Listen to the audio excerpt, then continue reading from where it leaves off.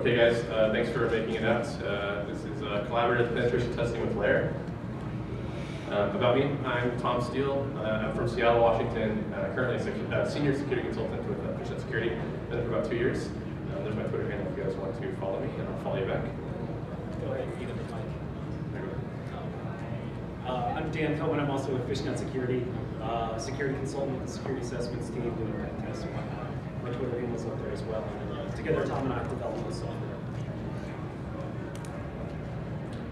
Okay, so the current problem, the problems that we're trying to identify or fix with the tool that we're releasing today is um, that uh, when you're doing a penetration test, you got you get tons of data, and they come in from lots of different tools. Um, you know, manually you're, you're, creating data yourself, and there was no real easy way to manage that data. Um, there are some existing tools out there that can do it. Um, but uh, you know, if you're, if you're not using one of those, um, you know, basically you're just going to have tons of files open, tons of terminal windows with data and files all over the place and notes all over the place randomly, and, and just uh, yeah, not, not, not too much uh, you know, organization. Um, another problem that we identified was that when you were doing actual penetration tests with more than one person, there would sometimes be a lot of duplication of work because there wasn't any way to tell who, who had done what and who hadn't done what, besides maybe um, just communicating with each other. But uh, you know, you're communicating over, over IM or IRC or something like that, it's not always uh, the best form of communication. And it's very hard to track who's done what. Um, you know, we some some things that some people use like OneNote or something like that just didn't didn't uh, didn't work for us. Um, the other thing was just off, uh, thoroughness of a penetration test. Um, we wanted to create a tool that would, really guarantee that we didn't miss anything, um, that we didn't miss any hosts, we didn't miss any services, we didn't miss any applications, um, things like that. So we saw we saw kind of a we didn't we didn't really couldn't find a tool that fit our needs, and so we just were like, oh, let's develop one ourselves. Um, so really, what we did is we um, we uh, we uh, asked for two months to develop a web application after we'd come up with some ideas, and we spent uh, two months uh, straight building this application. And um, the past four months, kind of improving it, improving, improving it, and uh, letting our team work it out and find the bugs and fix the bugs and kind of iterative cycle. So um, this is kind of the tool that we came up with to help us uh, solve all those problems. And so this is the architecture. And um, if you look on the right side of the screen, hopefully you can see that. And you can see at the top that you see a Meteor web server. So like I said, it's, a, it's, it's, it's at its heart, it's a web application. Um, the web application is built on top of something called Meteor.js, um, which is a JavaScript framework built on top of another framework called Node.js. So if you're familiar with Node and if you're familiar with Meteor, you might have an understanding of what those are. But uh, real quick, the benefits of Meteor, I'm just going to cover some of them. Um, First one being data on the wire. Uh, when you first load up a Meteor.js application, it, it just ships you a whole bunch of HTML and JavaScript code and templates. Um, so the initial loading just happens, and then the rest of the time it's just JSON back and forth to the web server. So it's very, uh, very quick, very snappy. Um, the next thing is, you know, obviously, um, being Node and being Meteor is all one language. What this lets you do is it lets us write the client and the server code all in JavaScript, so we don't have to jump back and forth. And it's pretty convenient for, for some developers that way. Um, next point I want to talk about in Meteor is uh, they have this concept of database everywhere. So um, it's, it's, it has a MongoDB backend, um, and that database, when I say database everywhere, um, you can actually write your queries on the client, which is very, very cool. Uh, it's very, very convenient for developing a, a real-time application. Um, the next point that uh, Meteor has kind of going for it is a full stack reactivity.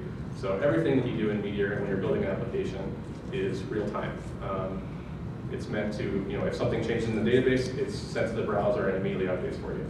Um, so that's kind of how you interact with the application, interact with the data once it's in there. And, uh, and it, it talk, does talk about Mongo database. And so Dan's going to talk about how you actually get data from automated tools in there.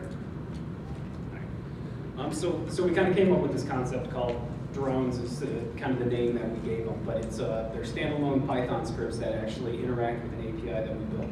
And uh, these Python scripts basically take data from a number of different tools, um, and then they parse the data, uh, aggregate it, normalize it, and then they put it into the, uh, the centralized Mongo database that we have running on kind of our master uh, Meteor server, right?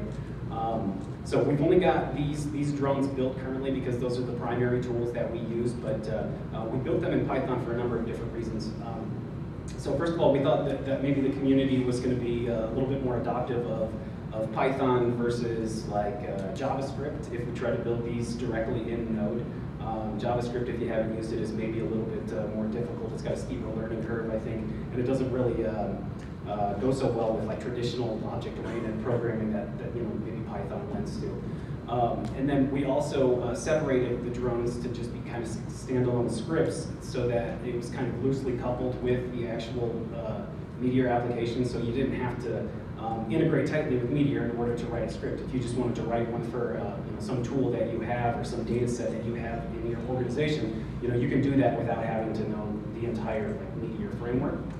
Um, and then, uh, let's see, we also did that um, just to try to get, uh, you know, just more community addition to um, the project. You know, we want other people to come in and help and help develop, and uh, so that was kind of the, the decision why we went with Python rather than uh, than Node. Yeah, it's a, it's, it's a lot easier to uh, develop a Py- Python script that can use an API we provide and um, then learn how to you know, actually put up a full web application. Um, another good point of why the drones are built like they are is that if you develop a drone and you're developing it in another language or it's it's code that uh, we don't want or something like that, and you don't have to worry about you know like getting anyone's approval, you just release it on yourself. You know, put it on GitHub, it on Bitbucket, and other people can use it. Um, you know, there's no problems there. Um, so, uh, majority of this talk is actually going to be a demo because that's kind of the meat. Um,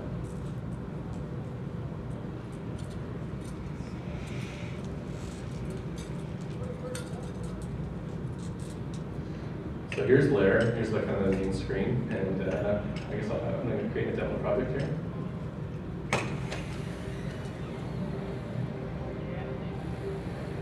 So once you've created a project and loaded the project, you're brought to, you're brought to this kind of uh, kind of this dashboard, and the first screen you see is, is hosts, and um, you know you, we don't have any hosts right now. You can add them manually. Any and keep in mind, anything that we do with automated tools, we can also do manually. We also do we do a lot of manual testing. We want to manage that data, um, but you obviously don't want to go add every single host that you're testing. You want to use the, the tools that we use every day. So um, one of those being.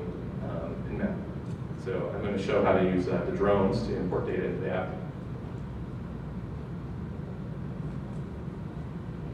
All right. So uh, first thing you need to do is grab a project ID. This is the unique identifier for the database. So the drones know what to insert. Okay, so the first file I'm going to import was just a standard vanilla scan of my network, and I had Metasploitable running to kind of just get some data. Um, so it's no version detection and uh, no operating system detection and no script scanning or anything like that. So it's just very vanilla, um, standard, uh, standard ports and everything like that. So.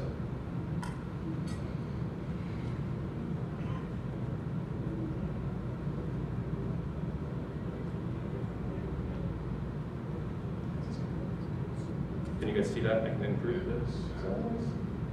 There we go. So yeah, it just connects to the database, parses the XML, and inserts into the database. And what you end up getting is you get this list of uh, list of IPs, and you can see there's not much data there yet. Uh, you know, the operating system is obviously marked as unknown because Nmap didn't find anything. Um, and so let's load up uh, this, this this IP here, this one, that one and two. Um, so this next view is just a single host view with a list of services. And um, what I want you guys to focus on is this telnet port. Um, we can see that, the, that since we didn't do version detection with them, that the product is unknown. So that so you know on, on a, um, the idea here is on a pen test that you could you know we like to do penetration testing starting off with very small targeted Nmap scans, and um, when you do that, you end up with tons of files and no real way to uh, put them together. And if you do, you, you're probably using like Vim or something like that uh, with the final product. And certainly other, there are some other applications that do this, but maybe ours will show some, uh, some benefits uh, that, are, that are not built into those. But so my next step was just to show the how it works is to do a version detection of that telnet port. And so that's what this second file that I'm going to import is uh, has. It just has a version detection on that single port uh, telnet. And so if we're just looking at it, um, it gets the database, and if you guys noticed, it immediately updated. There was no browser refresh. Um, the way Meteor works is really cool. The messages actually get sent up from the server to the client telling it that it needs to re refresh its data with the new data. Um, So that's very cool. Um, you know, it, uh, the, the way the drones work now is it always has what I call one version of the truth. So it's, it's always additive. It's never taken away. So if it sees that a port was open but then it didn't have service of the product, it's to update it when it can. Um, the next thing that's really cool about the Nmap drone in particular is it parses the Nmap scripting engine for you, which is the Nmap scripting engine is great, you know, just for checking for low-hanging fruit or anything else in particular. The only problem is that when you start running lots of script scans, you get lots of files again, and how do you parse those out? Um, so this third one is actually um, a full Nmap of the environment with operating system detection, version detection, and uh, script scanning enabled.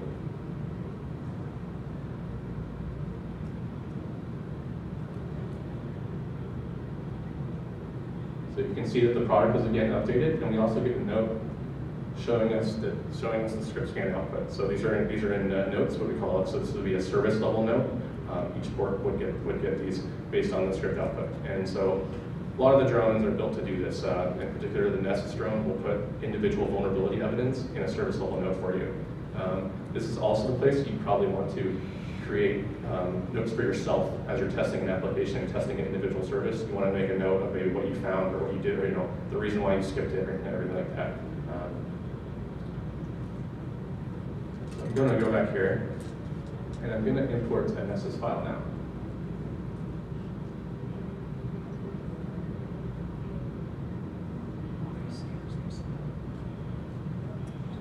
Uh, Right now, we have. Yeah, so right now we have, we have parsers written for Nessus, Nexpose, Nmap, and Burp. Um, and like I said, there's an API that, we- that we, that we hope people would use and help us write more parsers. We just don't have the time to write these all day. Um, so, but, but if you have a need for something, you'd really like to see it written, you can certainly probably send us a, a sample XML file, and we'd probably be able to write it for you pretty quick. Um, so I just imported the, the Nessus data, and you can see that it kind of um, got updated with a bunch more information. Um, in particular, um, this host now, you can see all the vulnerabilities that are just associated with this host. You can link to that vulnerability. You can go to, to this particular port and see all the vulnerabilities that are just linked to this port. Um, and like I said, that you can see uh, that the way the Nessus parser works, and the Nexpose in particular, um, they actually parse the evidence per vulnerability and save them as a service note. Um, also, what's cool about this is um, a lot of times for particular reporting reasons or just for um, having the best up-to-date information. Um, on things like operating systems, we put weight on different tools. So we happen to think that um, the Nessus and Nexpose engines are better at detecting operating systems um, rather than Nmap, certainly because they do a lot more things like vulnerability detection and things like that. Um, so you can control which operating system has the most weight and which one um, you know, you're going gonna base your, your testing off of. Um, and while you're testing these, you can be tracking this information manually in a, in a centralized location easily by adding a new fingerprint, etc. Um, okay, so that kind of handles the data problem, right? The I need I just need my data in a centralized location. and I need it all to sync up. Um, the next issue is collaborating, and that issue involves you know um, we don't want to duplicate work, and we also don't want to miss anything. So the way we came up to fix that is um, a color-based system. It kind of actually started out kind of funny because I used to use before this tool existed, I would use an Excel spreadsheet. So I would parse all my Nmap outputs together, and I would put it into this big Excel spreadsheet, and then be using colors in Excel. Um, not particularly like Excel, and I can't really share that over the network with my teammates and things like that. Um, so we, we kind of oh, what version of the file do you have? What version of the file do I have? You take the top half, I'll take the lower half, and it didn't really work too well. So we came up, I we just like, let's just keep the same color-based system and use that. So we have a color-based system for hosts, services, and vulnerabilities. And the colors, they're rather meaningless. They're not meant to mean anything. Now, what they mean to us doesn't necessarily have to match what your workflow is. We find that the colors, that this is the best workflow for us. And that's that gray is kind of undetermined state. No one's looked at it. Um, blue means that, um, to us means that um, someone's currently looking at it. You know, someone's currently working on that, don't touch it, or you know, move to something else. Green means it didn't have any high severity issues or critical issues that gave you private information or um, just anything worth noting or football in the network. Um, orange to us means that um, there's something very interesting there, but we just don't have the time right now, or we found something else that's more interesting, but we'll come back later, and it's, it's just kind of a mental note. And red means it's pwned, like that's a foothold in the network um, that has you know, something like SQL injection that's feeding back private data, um, stuff like that. So where Meteor comes in and is really cool is that when me and Dan are on a penetration test, and we're both looking at this host-based view, as soon as he clicks on a host to update the color, oh yeah, first we need to add him to the project, so that would help. So yeah, this is the collaborators view. This is the collaborators view. Um, so basically, you know, you'll just see a list of users, and these are the people that you can work on the project with. So I add him to it as a collaborator, and if I come back here, and he clicks on host,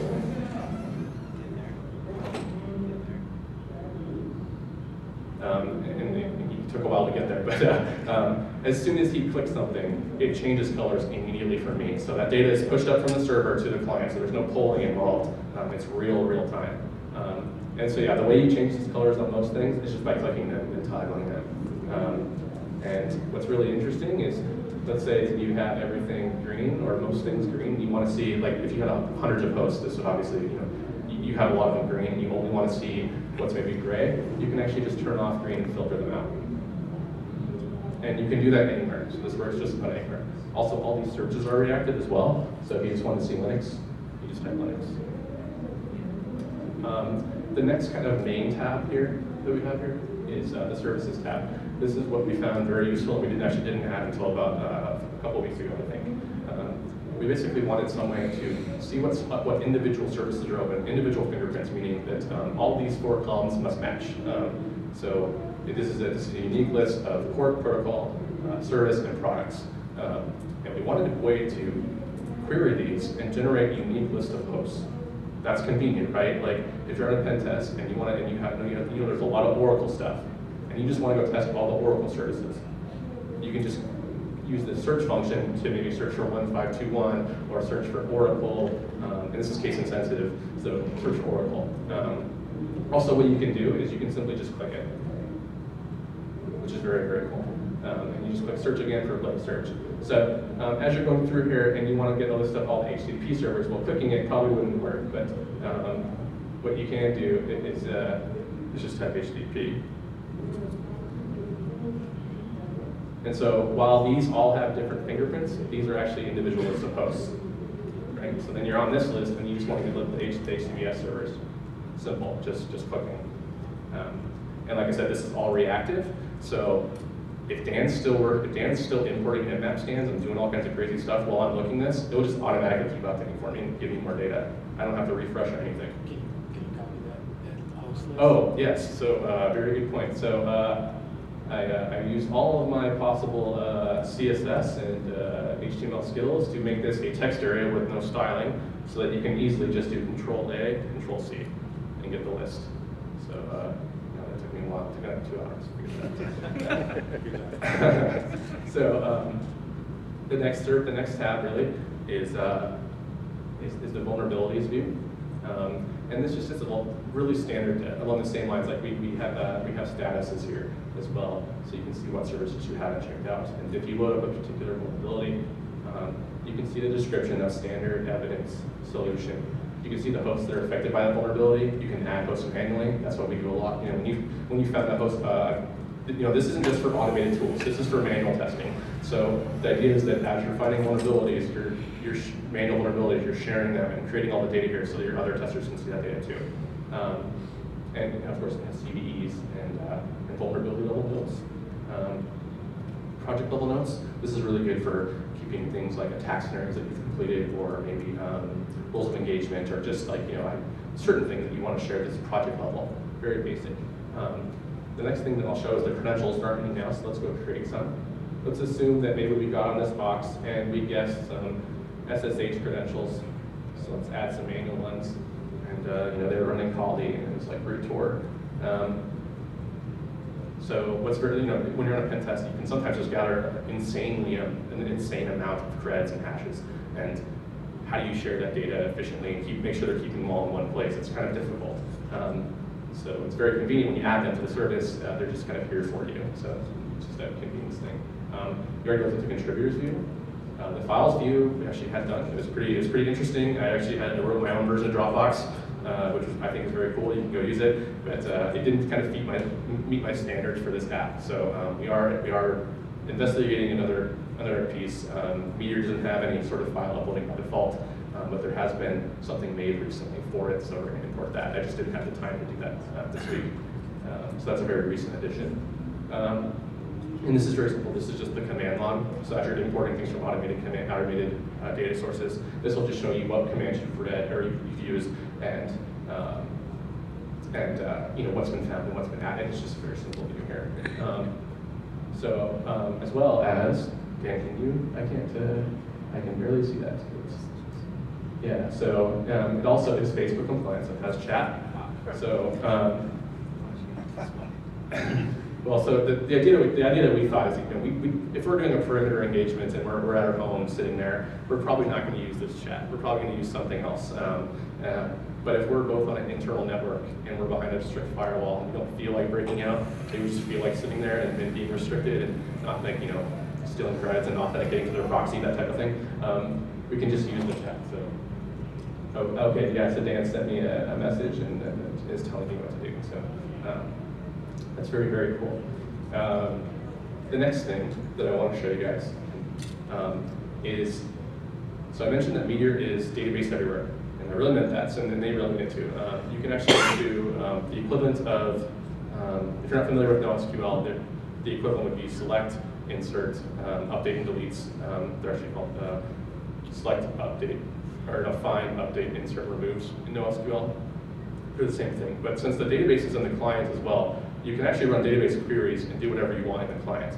Now, security best practices will tell you, is, is, is you're going to say you should turn that off. And I completely agree. If you're developing a Meteor application, do not have these, these insecure settings turned on before you do that. It's more of a development thing. But we, what we can do is we can take advantage of that to do crazy things in the browser. Um, so I'm going to, so there's a setting here, and we can, uh, so I'm doing that first, and so we can allow client-side updates. And what this does, it lets the client browser do whatever they want to the database. So you know, uh, there is admin setting, so I'm an admin, so I can only allow this. So if you didn't want to let everyone do this, you know, of course. Uh, so I'm going to allow this, and you get this, you get this security notification letting you know it's probably not a good idea. And you should only do this if you know what you're doing. Um, so we allow it, and then uh, I need Dan to uh, send me over his script. So what this, what this lets you do is it lets you do anything you want in the browser console. So if you're in Chrome or Firefox, you can open up the uh, browser console and run database queries in there. So uh, a common thing that, that we you know that we do is we write little scripts to help us out and share them amongst the team. And one of those ones that Dan wrote recently was, well, you know, if you're testing thousands of hosts and you know, hundreds of these hosts don't have any services available, there's nothing to test. So what we wanted to do was we wanted to go through and turn all those hosts green. So Dan wrote a little nice, a nice script to do that. Um, and so here's the, here's the content of it. And so basically what this does is it's, it's doing a, you know, a, the equivalent of select statement on the host um, table collection, if you will, and it's pulling back all the hosts, and then it's um, looking to see if any of those hosts have ports open, and then it's going to turn all those ports green. So it's, it's, it's kind of verbose, and but the, the idea is that anyone, can, the community can write these scripts and share them and um, store them in their browser and show them and things like that. So what we can do is we can drop it into developer console. And we'll lower this so you can actually see it happening. And so I know for a fact that .6 and 4.6 don't have any ports open. So if we run this, it sure turned in as green. That's pretty neat, right? Um, and that's that's not any of us. That's just Meteor being awesome. So you know, we can't take any of the uh, kudos for that. But uh, it's very cool. So you can see how it can become quite powerful if you had um, different transforms. Um, you know, if you wanted to turn all the, you know, a lot of times the tools will report very, very different versions of like Windows Server 2008.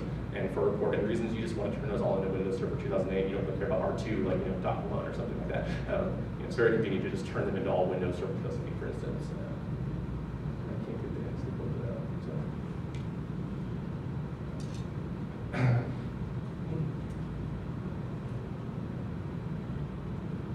Um, okay, so next.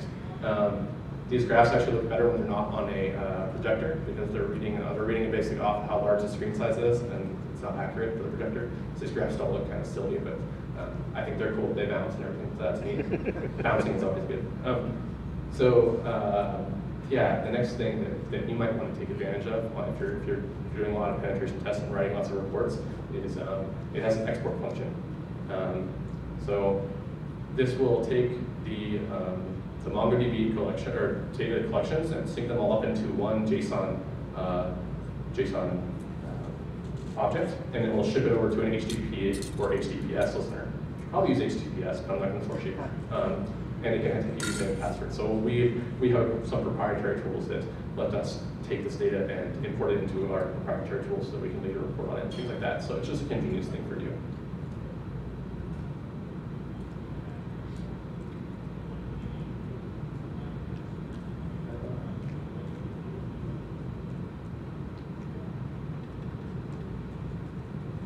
Okay, so the next steps that we have for the project are basically, um, we need, we know we need to write more parsers, we need to write more client-side code that can parse all the tools. Um, so if you're interested in, in contributing and you can code, that's great, you know, hit us up, and we have a lot of interesting ideas. I know one in particular that I've been dying for is kind of like a um, pub sub type syncer for Metasploit, so that it could sync the Mongo database with the Postgres database. That way, when you're using something like Metasploit Pro or even just Metasploit you know, console, um, you can import data into that and then import data into Lair, and they both sync up. Um, it's a very complex issue that I've kind of spent nights thinking about how I would do it. So if you're smarter than me, you code really good. That'd be awesome for you to come contribute to. Um, I think, and um, any other particular parsers that you think would be interesting? A lot of people have requested Qualys, I think. Yeah, I think Qualys is a big one. We don't use Qualys, so it's, it hasn't been a pain point for us, but it'd probably a good one as well. Um, another thing in particular is we're not, we're not, just because the API is written in Python, we're not, we're not like, we're not, we don't care if you write it in another language. Um, you know, if you go write a Ruby API, we'll probably just share it. We'll just probably just get, you know, you a pull request and have a Ruby API or something like that. Um, so um, the other thing too is we know we need more documentation. Basically, um, you know, we were coding this up until I, am going to say that we were coding this up until we got here, but that's not particularly true. I mean, we had the we had this application built three months ago. Um, I'm just very particular and decided that I was going to recode the entire front end in three days. Um, it looks a lot better. So, um, um, so, um, so we, we have we've been, we've been lacking on documentation. So if you'd like to get together with us and contribute that way, that's awesome way to into it too. Um, and then we need to uh, basically uh, put a wiki out there so that you can, you know, learn how to learn how to use the Python API, learn how to run the document schema, things like that. And we'll, we will be doing that. Um, yes, sir. So when you guys collaborate on this, where's this hosted? Like, do you have this on like an internal network that you guys? Uh, Yeah, so with? Fishnet, um, we have it in our lab on, on a server that's locked down, but we're kind of behind a network um, that's you know behind a VPN things like that. Um, so this isn't this is not a, we don't not intend this to be a hosted solution for you. Um, this is not uh, this is not something you pay for. It's open source. Um, so this so the kind of the way you get it, uh, we have there's there's two ways you can do it. Fishnet, we deploy it with Mon, straight up MongoDB running SSL on the standard port, and then we have an Nginx reverse proxy speaking to the node application on HTTP. Um, that's not for everyone because that takes quite a bit of configuration. So what we've done for is we've put a lot of work into making precompiled packages that literally just start with, um, it's, not gonna show it, it's literally just .start.sh and your IP, and it will walk you through creating certificates, creating database users, and going. Um, the other cool thing I think particularly about Node, uh, and some people can disagree with this, but I think Node is very cool because it gives you a web server kind of out of the box.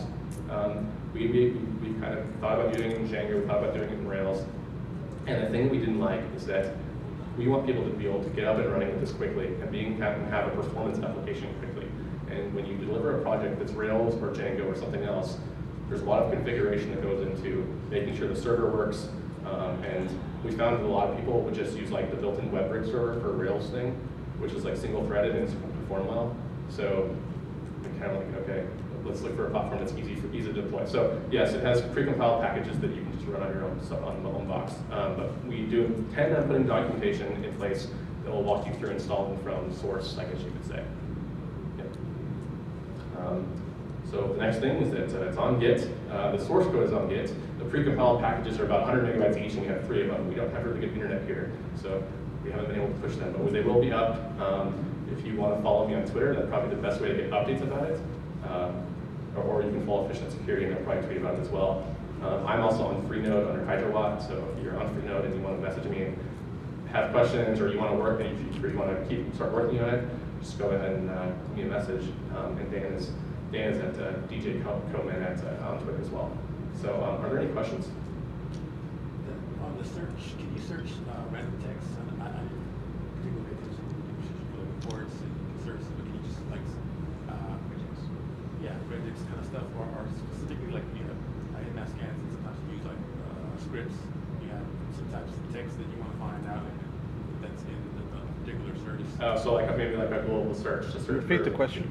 Uh, oh yeah, so um, the question was if you can use some sort of regex type ability to maybe look for um, certain things globally in, in all the services. Um, currently, we don't have that, but that's a very good idea, and we um, we should probably add that. I think like a search tab that takes a regex and just shows like everything that it found. That'd be pretty cool. So I'll have to look have to do that on Mongo. Probably not easy, but uh, hopefully. That- we, we, we, we've talked about doing like a query builder, basically, where you could um, basically have every single key value that's in the database, be able to search on that, and uh, yeah, I think that's a very good idea, so thanks a lot for the idea. Yes? So when you click to change the color status, do you keep track of who it is that, that owns that one? Um, it, it keeps track of, if if you notice, it had a last modified by, so the last person to click it, it will be tracked. So as soon as you click something, it says last modified by, which is why it works, because I can see if, you know, if, if, if- I mean, if it was two people, yeah, you might not know, you, if, you know, you might not need that, but when you start working with ten people, five people, you quickly need to track who's doing what and who's working on what, so. And, it, and it's just not person speci- specific. It, it'll also track which tool imported it as well. Yeah, so if, it- if, it- if, it- if like Nessus comes along and updates something, they'll say, oh, Nessus update that. Any other questions? Uh, yes? The table that it creates when it has credentials, it has the IP address on it, is that pasteable as well? Yeah, let me just, uh, And can you sort it? Repeat the question. um, yes, so he was asking if the credentials tab had, uh, was, uh, copy pastable for the IP address, and if you could sort it. Um, Currently, it's not sorted, I think it's, it's sorted by username, uh, but you can click on this, and you could just, uh, copy paste it like that. Like, could you like, could I click on password and sort by toor, for instance, because if you have like a thousand credentials and you find that passwords used on like five hundred hosts, and you want to tell the client, hey, these all have five, so it's That would be very convenient. So, yes, we will build that in. Um, and just and just so you know, if you wanted to do that, you can always Yeah. drop into the console and basically do something along the lines of like this. And I hope this works live. And I don't think fool myself. Uh,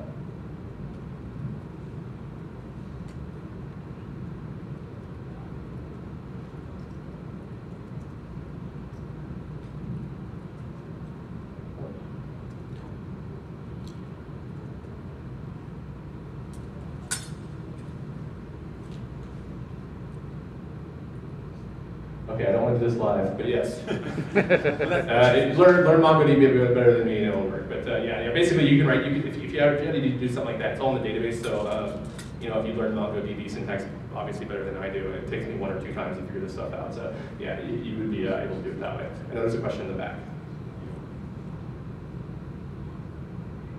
Was there a question? Yes, sir. How how about starting drones and things like that from the web app itself? Like, is this all driven from the command line, or can you start off like a batch jobs based on an IP list or something like that whether, Um, or do you plan to? Uh, so the question was that if we can start the drones from the web interface um, based on like maybe a list of IP addresses or something like that.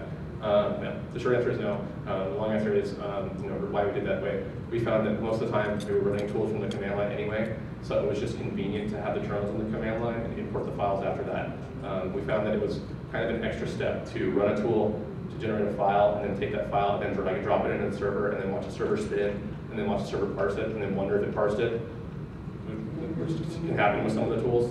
Um, so that's kind of where we built it. Um, I could see a benefit in maybe, you know, I think I think there's other tools better suited for that thing, for that functionality. I think one that comes to mind is Metasploit Pro, uh, with running, you know, tools and tools from the browser and tracking that output. I think uh, Think just the tools and stuff for that, but if that's something you want, uh, you know, we can talk about more for sure.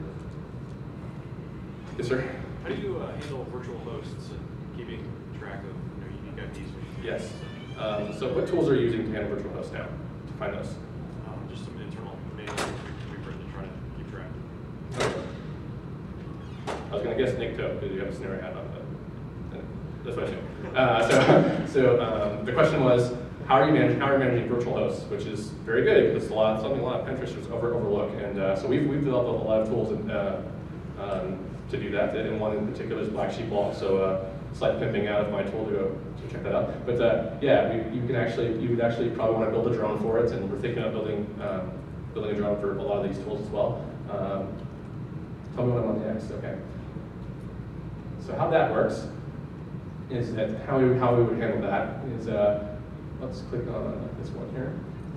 This is an internal network, so the host names aren't going to be particularly good. Um, if you actually go to the host names tab, it will parse through and look for all the HTTP and HTTPS ports and do a kind of a best guess. Um, so you can add as many host names as you want here. So you can add them manually or have tools like Nikto or um, and Docker Docker Operator has a script that does it as well. So um, if, you're, if you're doing things like dictionary tags or dictionary guessing on, on host names, um, you could probably build a drone to add those in there or add them in here manually, and then it will go through in here and create convenient links to the ports. So um, you can quickly get to them. Currently, we don't have any way of tracking which ones you've looked at. Um, you probably, if it were me, I'd probably choose a service level note and, and track it. But if it's something that, you know, if it's something that we're, that you're noticing that you guys are just, you know, it's like you have, you always have hundreds of, like, as we do some tests and we just find hundreds of e-hosts. Um, I could see it being its own status, each host name being its own, having its own status, and you were checking that out. I can see that happening. Um, the other thing I want to do is I actually wrote another tool which will go to a list of URLs and grab a screenshot. I want to somehow put in here a base64 encoded uh, PNG of this. Uh, you know, it's just, a wrapper around Phantom.js, but it'd be cool to have a, a screenshot of the, of the, uh, of the image in here as well. So that's just something we're kind of thinking about how we're going to do. Uh, it surprisingly takes a lot of uh, brain power and, and thinking to, to, to make a web app and make everything organized and not just put crap everywhere. yeah, it takes a while for sometimes to, have a question? Yeah. Um, so first of all, cool tool.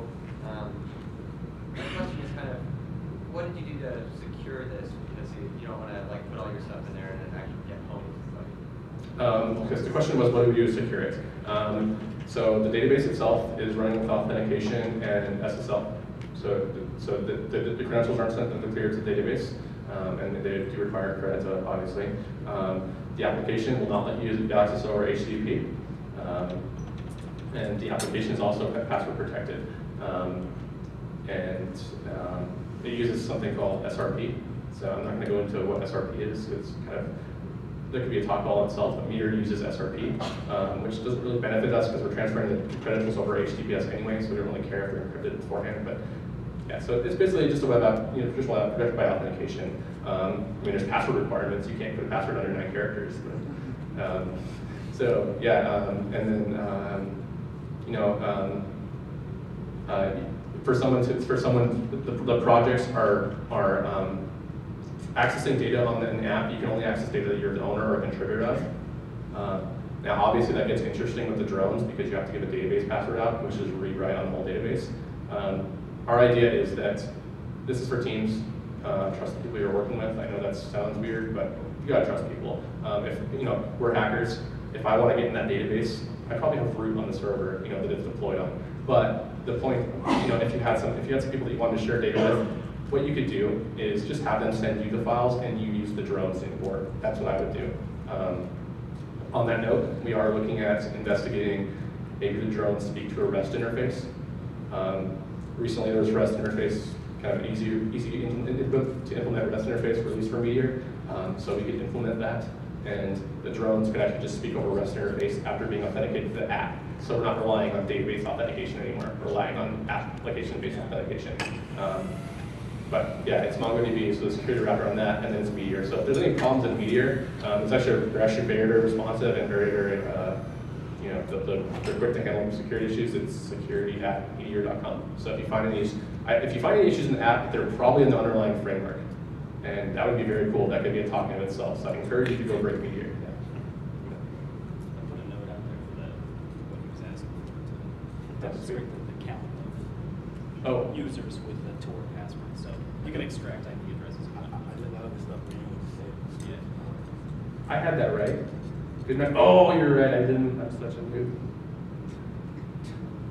And so this is this is almost exactly like what you would type directly in a Mongo client, like if you were in the command line. It's slightly modified for Meteor. Um, Yeah, so you can just write a, write a query about that and, uh, So that just gives you the count. Yeah, and it's actually, um, MongoDB is created by 10gen, and 10gen has free courses. And so if you want to be using this a lot and be kind of like a master user, go and take any MongoDB course. It's probably a very cool idea. So I would encourage you to do that. Any other questions that we can ask or answer? All set? Okay, guys. Well, um, thanks for coming to the tool. Um, like I said, it's on GitHub. So if uh, if you want to go um, play around with it and have any questions, just uh, you know, get me on IRC or Twitter anything like that. So thanks a lot, guys.